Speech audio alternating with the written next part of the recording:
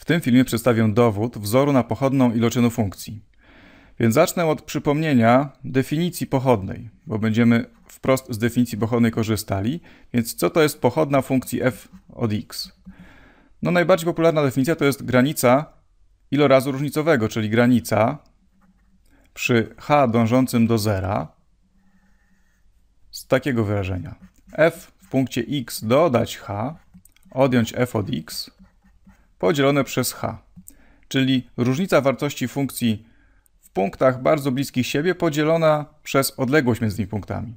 Czy f od x plus jakiś przyrost h odjąć f od x podzielone przez ten przyrost h, dążymy z tym przyrostem do zera, no i to jest wartość pochodnej funkcji f w punkcie x. No i teraz zastosuję ten wzór do tego, żeby obliczyć pochodną iloczynu dwóch funkcji. Weźmy iloczyn funkcji f i funkcji g. Są jakieś dwie dowolne funkcje różniczkowalne, które mają pochodną. No to teraz rozpiszę to zgodnie z moją definicją, czyli to będzie granica przy h dążącym do zera z ilorazu różnicowego. No to tutaj sobie narysuję taką długą kreskę łamkową, bo będę tutaj jeszcze coś kombinował za chwilę. No i w mianowniku mamy h. A w liczniku co będę miał? No muszę wziąć wartość tego iloczynu f razy g w punkcie x plus h. Czyli to będzie f w punkcie x dodać h pomnożone przez g w punkcie x dodać h. I od tego muszę odjąć wartość tego iloczynu w punkcie x. To ja sobie to napiszę tutaj na samym końcu. Odjąć f od x razy g od x. No i gdyby nie to, że tutaj taką dziwną przerwę zostawiłem, to byłoby to po prostu dokładnie to samo, co jest tu u góry, tylko dla iloczynu. Ta przerwa może dziwnie wyglądać, ale ja ją zostawiam tutaj po to, żeby zaraz coś tutaj dodać i odjąć. No ale na razie no to po prostu napisałem tę definicję, która tutaj była u góry, tylko dla iloczynu funkcji f i g. No a teraz zostawiłem tę przerwę po to, żeby tutaj pewien trik zastosować, dlatego że jak mam taką granicę do obliczenia, f od x plus h razy g od x plus h, odjąć f od x razy g od x, to nie bardzo widać, jak to przejście graniczne wykonać, do czego to, to dąży to wyrażenie. I żeby można było zobaczyć, do czego to dąży, to ja teraz tutaj sobie coś dodam i odejmę. Może tak, może najpierw odejmę, potem dodam. Odejmę f od x dodać h pomnożone przez g, ale w punkcie x i to samo wyrażenie dodam. f od x dodać h pomnożone przez g od x. Odjąłem i dodałem to samo, czyli nie zmienię wartości tego wyrażenia. A dodanie i odjęcie tego wyrażenia pozwoli mi tutaj to tak przekształcić, żeby można było zobaczyć, do czego to wyrażenie dąży. No ktoś mógłby się zastanawiać, jak wpaść na to, żeby tutaj coś takiego zrobić, żeby tutaj odjąć to i dodać to. No, jak wiadomo, co ma wyjść, a wiemy, co ma wyjść, to nie jest trudno wpaść na to, co tutaj, co tutaj wstawić. No, to też jest tak, że po prostu ktoś kiedyś na to wpadł, a my teraz już korzystamy z tego, że, że wiemy, co tutaj, co tutaj dopisać, żeby, żeby, żeby się zgodziło, żeby wyszło. Ja to kiedyś widziałem na wykładzie i teraz już pamiętam, że mniej więcej trzeba tutaj coś dodać i odjąć i wtedy podzielić na dwie części i wyjdzie ta granica. No i ty też teraz jak to zobaczysz, to potem już będziesz wiedzieć, że trzeba tutaj taki trik zastosować, żeby, że trzeba coś dodać, coś odjąć, a jak już wiadomo, że trzeba coś dodać, coś odjąć, to łatwo jest wymyślić, że to musi być tak, żeby teraz dało się takie wspólne czynniki znaleźć dla tych dwóch pierwszych kawałków, to znaczy dla, dla tej części, żeby się dało wspólny czynnik wyciągnąć i żeby się dało wspólny wy czynnik wyciągnąć dla tej drugiej części. Dla tej części, o. Tak są dobrane te kawałki, które tutaj dodałem i odjąłem, żeby miały wspólny czynnik T2 i żeby miały wspólny czynnik T2. No właśnie, no to teraz korzystając z tego, że będą te wspólne czynniki, ja to rozpiszę. Czyli mamy tak, granicę przy h dążącym do zera. No i teraz to, co zakreśliłem na zielono. To co to będzie? Tutaj wspólnym czynnikiem jest f od x plus h. To jest wspólny czynnik, więc ja go mogę wyciągnąć przed ten ułamek cały. f od x plus h. A co mi tutaj zostanie?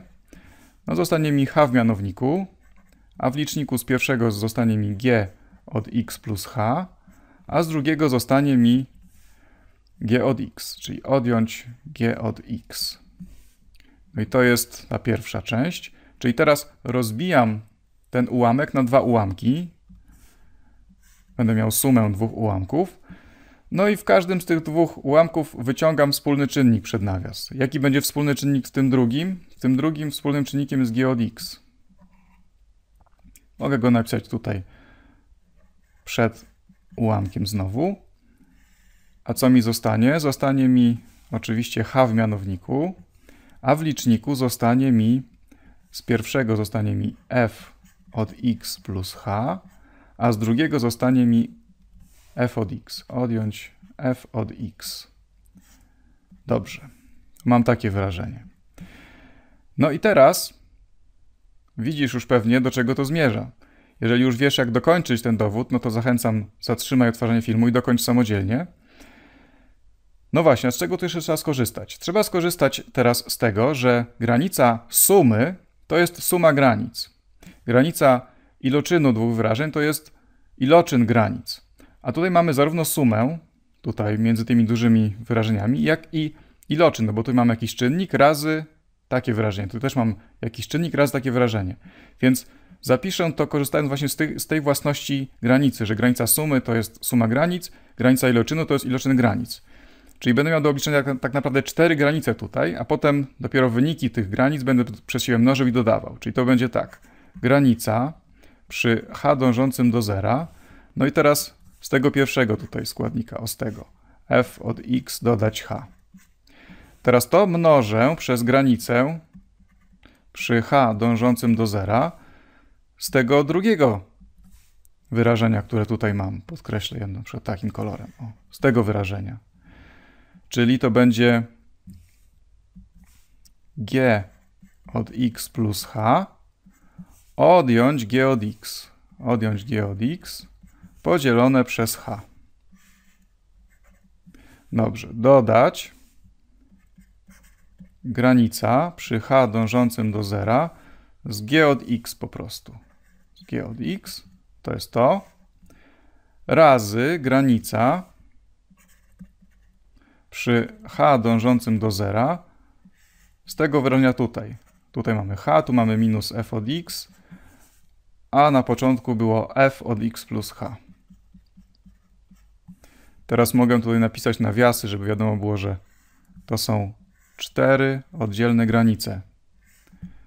Każdą z nich obliczam niezależnie, a następnie te wyniki wymnażam i wyniki tych mnożeń dodaję. No to co tutaj dostanę ostatecznie? No tutaj to wyrażenie do czego dąży? Jak h dąży do zera, to to dąży po prostu do f od x. Czyli to będzie po prostu f od x, taka będzie granica tego wyrażenia. Teraz co mamy, mamy tutaj w tym pierwszym nawiasie? W tym, w tym drugim właściwie. No to, co tutaj mamy w tym drugim nawiasie, to jest dokładnie to samo, co mamy tutaj napisane u góry, tylko że nie dla funkcji f, a dla funkcji g. Czyli to jest definicja pochodnej funkcji g. Czyli to będzie po prostu pomnożone przez pochodną funkcji g. Bo to, co tutaj mamy, to jest po prostu definicja pochodnej dla funkcji g. Do tego muszę dodać. Dodać co? Dodać granicę tego. No tutaj to wyrażenie g od x to w ogóle nie zależy od h, czyli to będzie po prostu g od x, h, h do zera, nie ma to żadnego znaczenia, bo to od h w ogóle nie zależy, to będzie po prostu g od x, niezależnie od h, więc w granicy to też jest po prostu g od x. No i to będzie pomnożone przez granicę tego ostatniego wyrażenia tutaj. No to i znowu mam pochodną, dlatego że to, co tu jest napisane, to jest dokładnie to samo, co tutaj, czyli to jest po prostu pochodna funkcji f od x. No i wyprowadziłem znany, mam nadzieję, wzór, że pochodna iloczynu dwóch funkcji to jest pierwsza funkcja razy pochodna drugiej, dodać ta druga funkcja razy pochodna pierwszej. Mogę to zapisać jeszcze z użyciem innej notacji, tej z primami, czyli że f od x razy g od x pochodna tego, to jest zgodnie z tym, co tu jest napisane u góry, tylko w innej notacji, f od x razy g' od x dodać g od x razy f' od x. Czy tak zapiszemy, czy tak, to jest dokładnie to samo. No i widać, że wyprowadzenie tego wzoru jest stosunkowo proste. Trzeba tylko wiedzieć, że tutaj trzeba taki trik zrobić, że trzeba coś dodać i odjąć.